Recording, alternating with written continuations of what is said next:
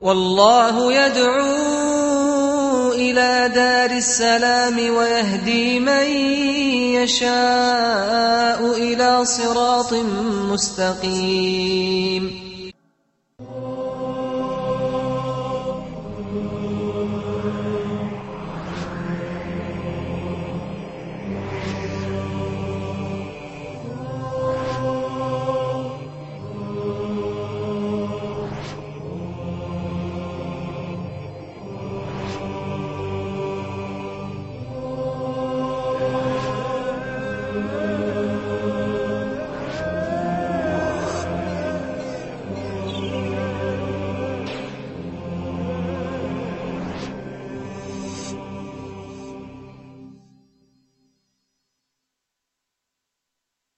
Bismillah ar-Rahman ar-Rahim. In the name of Allah, the Beneficent the Merciful, I praise Allah subhanahu wa ta'ala and I send peace and blessings to all of the prophets and messengers who came from the beginning of time and especially to our beloved Prophet Muhammad, his family, his companions, and all those who call to his way to the day of judgment.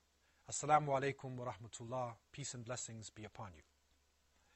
The Prophet Muhammad, peace be upon him, sent his followers in all directions. And Islam, within 100 years, was able to go far to the east to China and far to the west, all the way to the Atlantic Ocean. And it is reported that one of his companions, Uqba ibn Nafi' radiallahu an, penetrated the great Sahara Desert.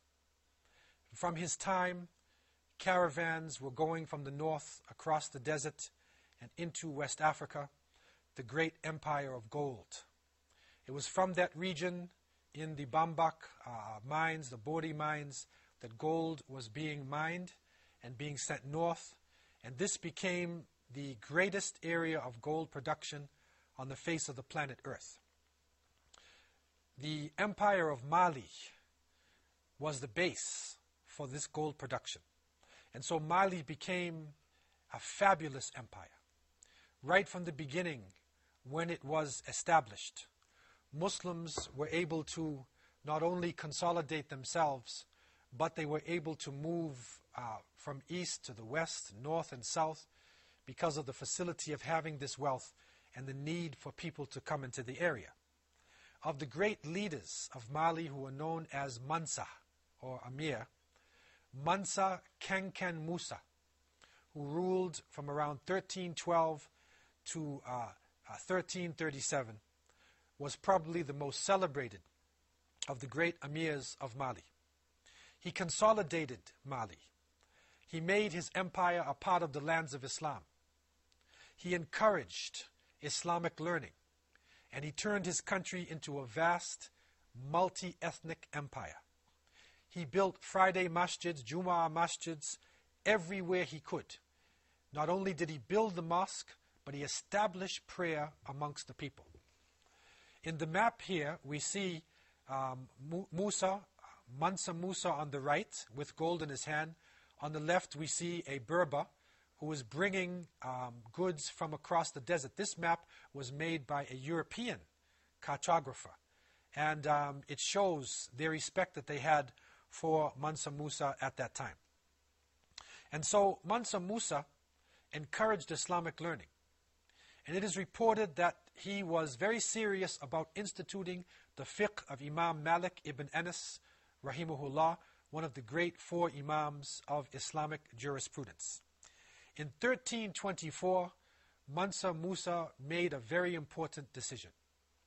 He made his intention to go to pilgrimage to Mecca. And so he started on his journey. But in the tradition of Mali, he didn't just go by himself he carried with him somewhere between 60 to 72,000 people across the Sahara Desert. They carried so much gold with them that they changed the economy of every country that they reached. It is reported that they had close to 15,000 camels laden with gold, 8,000 soldiers, and this huge moving nation going from city to city changing the economy, developing relationships, and Mansa Musa would build a mosque everywhere he stopped. When they finally reached north into Egypt, they found Bahri Mamluks ruling Egypt at the time, and the Mamluk leaders honored him and gave him a special escort to take him from Cairo into Mecca. And so Mansa Musa, with a huge delegation, then came into Mecca at that time. You can imagine the Hujjaj from Mali probably made up about 95% of the pilgrims uh, that year. And he had a profound effect upon the people of Hijaz in Saudi Arabia and the people in Egypt. Mansa Musa returned to Timbuktu and gave special attention to this city on the Niger. He was supported by the scholars of the region, and it is said that from Saudi Arabia itself, a Sidi Abdurrahman at Tamimi left the Hijaz, Mecca, and Medina area and traveled um, into the area of Timbuktu and the Niger River. And when he found the level of scholarship in this area, he went to Fes and learned more about the Maliki fiqh. And then he returned to Timbuktu and he lived all of his life in this region in West Africa. He felt that the real knowledge in the Islamic world was there, not in Mecca and in Medina. What was Timbuktu? What type of people were living there? And what is the importance of this uh, famous city to the history of Islam and to the world? There's probably no other word in the English language that gives you a meaning of remoteness and distance than Timbuktu. If you say to a person, I'm going to Timbuktu, then that uh, gives you the understanding you're going to the moon, to a vast expanse, somewhere in the remote distance. But the reality was, um, to many explorers, Timbuktu actually represented a land of great riches.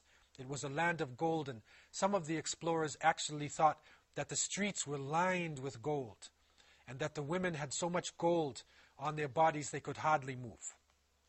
For Muslim travelers, rulers, scholars, from Morocco to Persia, Timbuktu had another meaning. It was the starting point for the Hujjaj, for the pilgrims to Mecca, and it was also the center of some of the finest Islamic scholarship of the Middle Ages. Timbuktu was founded in the 11th century by the Tuareg people who lived in the Sahara Desert. And the Tuaregs are known for the men who cover their faces with blue and black turbans, constantly covering themselves. And they were part of the Berber groupings who would take you through the, the great desert of the Sahara, the ones who had the strength and the patience to overcome the terrible heat and the lack of water. Timbuktu was actually a few miles up from the Niger River. Because um, the Niger River um, was a place where um, during the flood season there was a lot of stagnated water. And so when the Tuaregs would come um, with their animals, they would find themselves um, uh, dying from disease, surrounded by mosquitoes, and so they made their base just to the north. The city was actually founded by a woman, and um, her name was Tin Abutut. And so from this name, Tin Abutut, comes Timbuktu.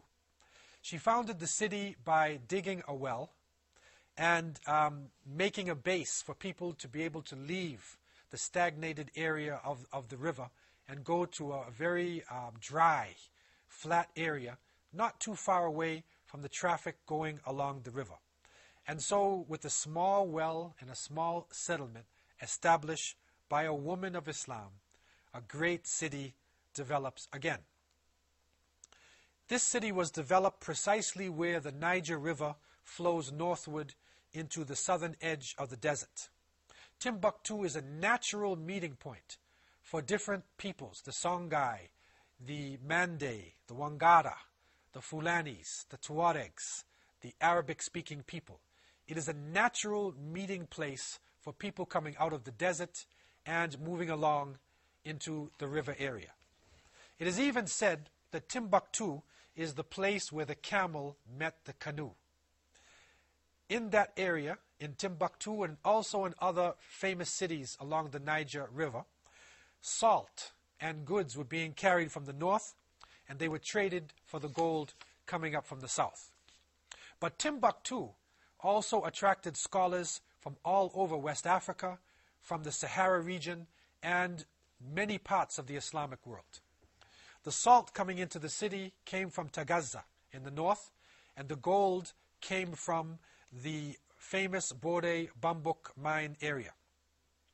A famous historian, Leo Africanus, in the 16th century, when he wrote about Timbuktu, he had the following to say There are many judges, doctors, and clerics here, all receiving good salaries from King Askia Muhammad of the state of Songhai. He pays great respect to men of learning. There is a great demand for books, and more profit is made from the trade in books than any other line of business. This is a very important statement because we see Timbuktu coming into its own around the 12th century, and then by the, the 16th century, it reaches such a high level. If you look at London and Paris and, and many of the great European cities, you find that they did not develop themselves to that level. It was only Andalusia, the Muslim cities in Andalusia. But if you look at Europe and other parts of the world, you'll see that Timbuktu rivaled the great universities all around the planet. It is said that by the mid 16th century, Timbuktu was a center of learning, a center of scholarship, and a center of Islamic spirituality. There were over 150 Quranic schools, and there were three major universities the Sankore University, Djingareyber University, and Sidi Yahya University. The city at that time had over 100,000 people, and it is said that in the Sankore University itself, there were 25,000 students. Now, this is something that is hard to understand today. It is hard to come to grips with, with the negative propaganda about the African continent and about the level of scholarship of people below the Sahara. But Timbuktu was a fabulous city and a city that people wanted to reach who were coming from many different parts of the world. It is also said that in Timbuktu, the city was so organized and so developed that there were 26 establishments for tailor scholars. Each tailor scholar had over 100 employees. And so, thriving business, cloth is being manufactured, clothing is being made. So Timbuktu is, is, is moving out literature, moving clothing, covering the bodies of people.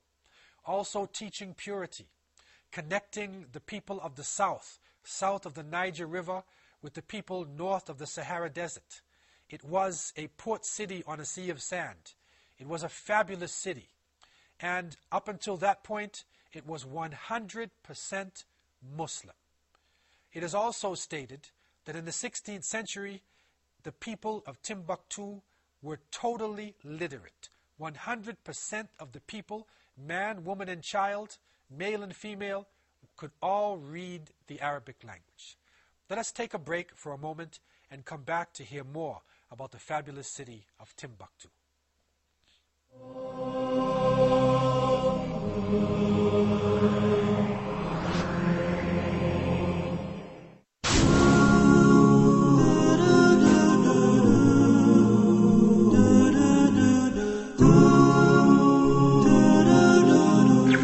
Welcome to this new episode of Focus Point.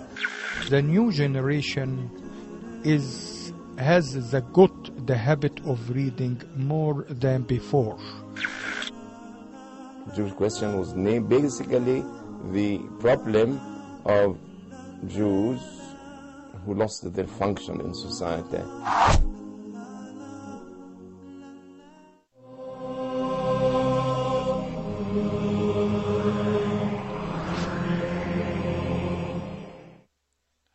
City of Timbuktu was a fabulous city of learning, scholarship, and of wealth, a port city on a sea of sand. Although the name in many cultures gives you an impression of remoteness, of distance, of being somewhere where there is no civilization. Timbuktu, especially by the 16th century, was the height of civilization on the African continent and could, could rival cities and places of universities anywhere in the world. The scholars of Timbuktu had reached such a level that when scholars came from Mecca and Medina and Cairo and other places, they would stay there usually for the rest of their life. The level that the scholars reached was one that up until today, um, that scholars and educators are still coming to grips with. If you look at the Timbuktu educational system, and this is very important because this system affected uh, Muslims throughout West Africa and even eventually came into the Americas with the scholars in slavery. The first level on the Timbuktu uh, educational system was the primary level. At that point, the young student would memorize the Quran and would become familiar with the Arabic language. They would learn the, the, the bases of uh, Islamic sciences, but especially they would focus on the grammar, upon literature, until they became uh, uh, powerful in the use of Arabic and able to read the Quran in any part and understand what they are reading. The second level was um, the secondary part, wherein they studied the Islamic sciences with more depth. They studied grammar. They studied tafsir, commentary of the Quran. They studied the hadith, the sayings and traditions of the Prophet Muhammad, peace be upon him. They studied fiqh or jurisprudence, and especially they focused on the Maliki uh, uh, fiqh that was used throughout West Africa and North Africa. But at the same time, along with their study of Islamic sciences, or what today people would term as religious sciences, Islamic science for the people of Timbuktu covered every single aspect of academia. So the students on the secondary level would also study mathematics, geography, history, physics, astronomy, chemistry, science, sciences of different types, and they put a special uh, emphasis on the study of ihsan. And this is righteousness in Islam, whereby the person is able to benefit from the sciences and put it into their life. The third and highest level of uh, study was the specialized area. Today we would call it graduate studies. And this is where the students would sit under renowned ulama, renowned scholars of different disciplines.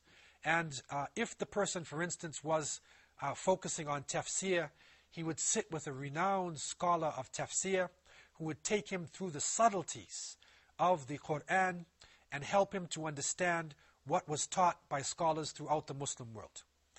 They also focused not only on taking in knowledge, but practicing knowledge. And you could call it um, the, the, the system of mulazama. And mulazama was that you would live with your teacher and you would also um, uh, take in his character. So you would live with him and you would also work with him. You would trade with him.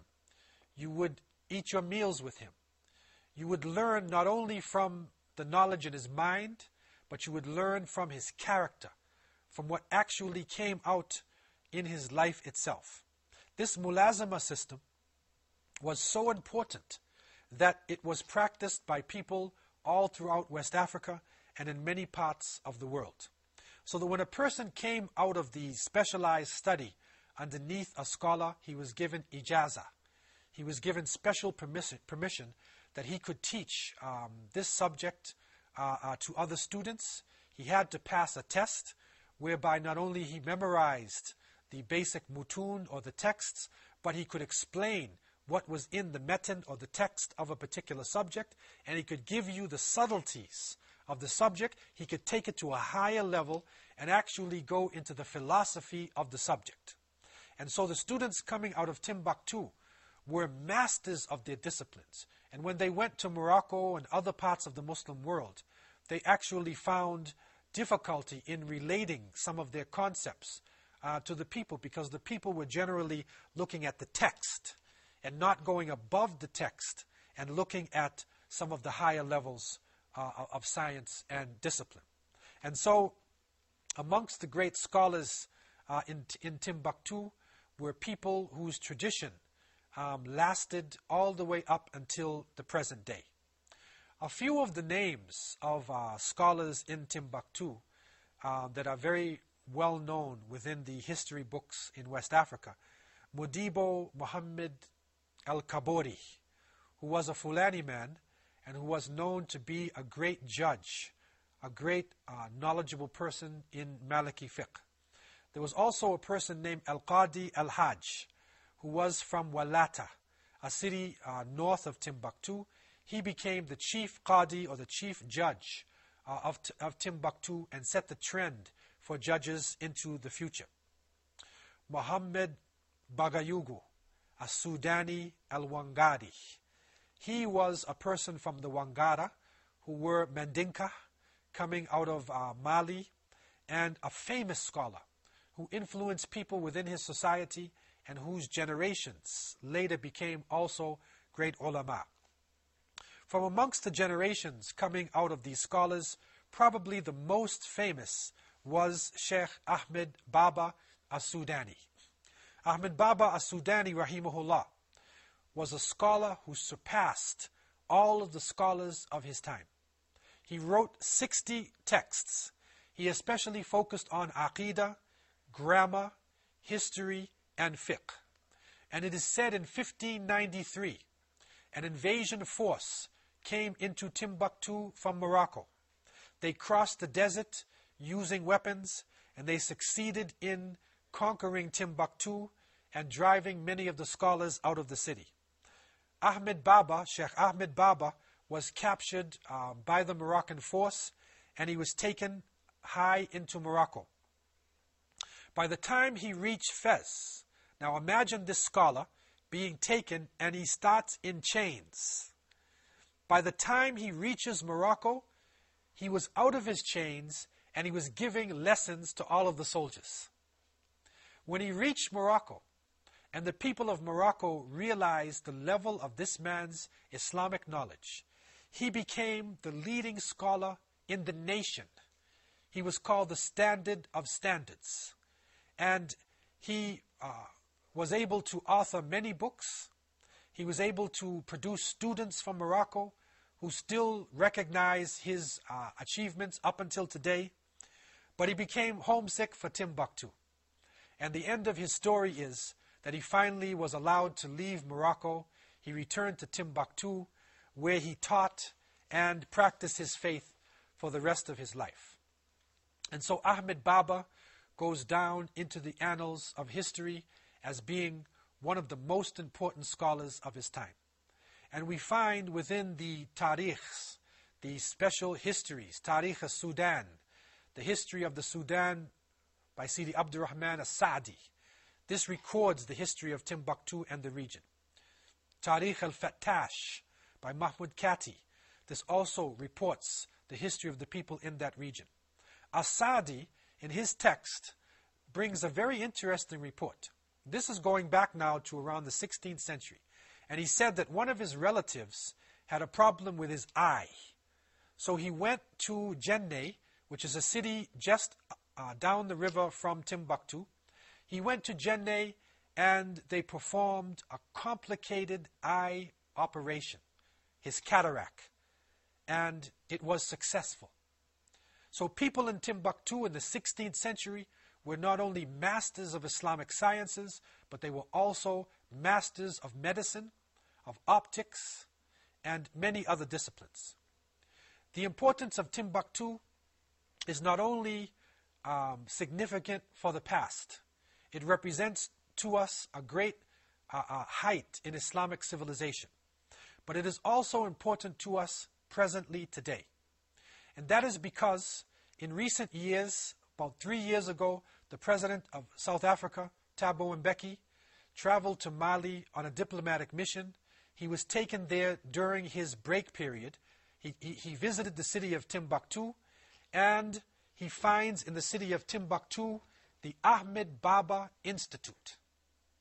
Now, in the Ahmed Baba Institute, the president of South Africa, finds 15,000 Arabic textbooks still in readable form. He's in shock when he sees these textbooks and he realizes that Timbuktu and the Ahmed Baba Center needs not only the attention of South Africa, but it needs the attention of the whole of Africa. So, therefore, the project of preserving the documents in Timbuktu has become the prime cultural project for the African Union. It is now looked upon as the chief repository of African culture. It is also looked upon by Muslims as one of the centers of learning where great texts are reported. Some of these books, some of these writings are still very legible. The desert is encroaching on Timbuktu. The termites are having their toll, taking a toll upon the textbooks. Dryness is making um, the paper brittle. But the Timbuktu documents have withstood the test of time. The Timbuktu documents are now being uh, photographed, they are now being put into digital libraries, they are being preserved, and it is the hope of the uh, African Union, it is the prayer of the Muslims that the heritage of Timbuktu be saved for the world. Another interesting uh, spin off coming out of Timbuktu is that there are people in America, there is the Timbuktu Educational Foundation and other groups in America who are actually going into the ghettos of America and using the Timbuktu methodology as a means of structuring a system for children who are coming from a, a, low, disadvantaged background and helping them to come into the light of learning. The mulazama system, where the teacher is not only giving information but also teaching character. This is the importance of Timbuktu.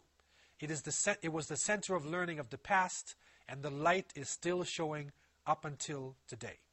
Again, we are unlocking untold stories from world history. And I leave you with this thought and in a state of peace. Wassalamu alaikum wa rahmatullahi wa barakatuh.